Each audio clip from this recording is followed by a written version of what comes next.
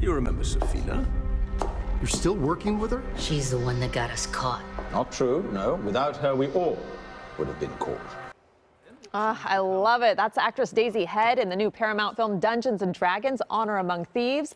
It's a fun take on the legendary role playing game, and we're lucky to have Daisy in studio with us today to talk about it. Welcome. Thank you so much. Good morning to you. And I, I know you're a little jet lagged. I can kind of relate to that. Slightly. so we appreciate you being here. So, this is a super exciting project. Were you one of the kids who played Dungeons and Dragons? I actually wasn't. You were? Did you know anything anything about it before this project? No, I'd had friends who had played it, so I sort of had a rough idea of what the world was, but it's so expansive and it's still growing. It's an incredible world, and I just feel honored to have been a part of this adaptation of There's it. definitely a cult following and has been for years and years and years. So tell us about your character in the film. So my character is quite an isolated creature.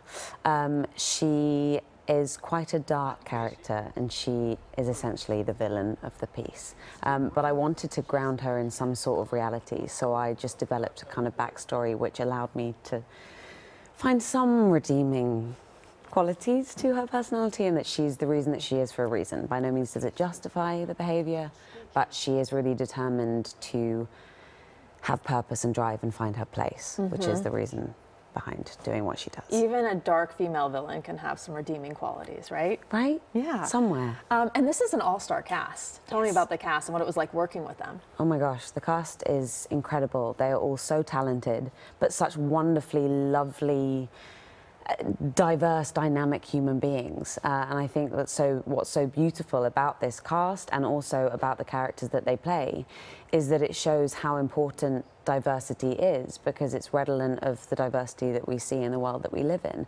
And I think it's all about embracing people's differences and not identifying them for them and then polarizing people because of them. Mm -hmm. I Mm-hmm. think this is just a lovely way to embrace everyone's differences. It's a microcosm of the actual world. Totally. Or maybe how it should be, right? Totally, totally. um, and this was shot in Ireland. How was that? Beautiful scenery. Oh my goodness, so beautiful. I went up to the northern coast when I was there and saw the Giant's Causeway, which is a natural rock formation made of like 40,000 like stone rock columns.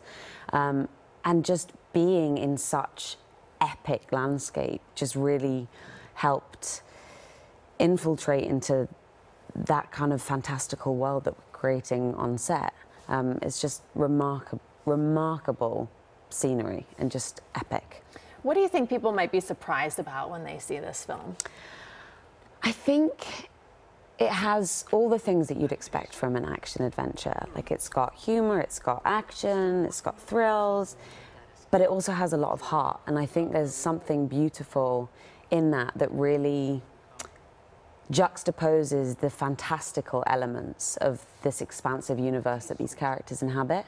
But I think there's something so beautiful about the emotionality, and John and Jonathan did such a great job with the script in developing these characters and giving them heart and showing that vulnerability can actually be a great strength and about how people's differences can actually unite them and they can find a common goal. And I think it might not be surprising, but I think that's an element that stands out that hopefully people will take away from Maybe it. one of the main themes of the movie, and I can tell just by talking to you how richly you developed this character. So if everyone else did it the same way, it's going to be quite an epic treat to see. Quickly, before I let you go, what else are you working on now? I know you're traveling around. You had the premiere last night. You're jet lagged. You flew in. I am traveling What's next around. For you? So uh, second series of Shadow and Bone on Netflix mm. just released, um, and then I am just about to go to Romania to do a Paramount miniseries.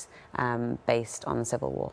Wow, you're a busy lady. We appreciate you being here. Can't wait to see the film. Thank you so much. Thank you so much very, for having me. Very nice to meet you. Likewise.